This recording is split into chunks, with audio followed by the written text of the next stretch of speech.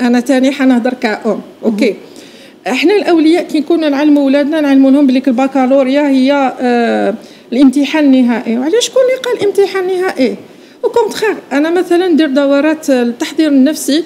الحمد لله ربي وفقني لسنوات باش نرافق التلاميذ وطلبة. كما نقول لهم إن شاء الله كل واحد ينفع بالعلم ديالو ناس واحد آخرين. واش نقول لهم؟ أنا نرسم لهم في السبورة خط.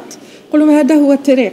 ولازم كل طريق فيها تفرعات. أنا عمري ما شفت autoroute مثلا. طريق سريع ما عندوش les bretelles ولا. علاش؟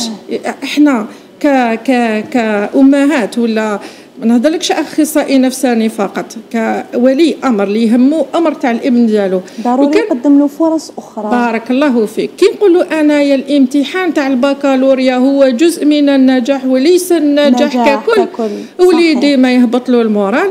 وليدي ما يتقلق. وليدي يحب يجتهد parce que الجزء من الكل يقدر يفرحني لو كان يروح لي ما نضيعش.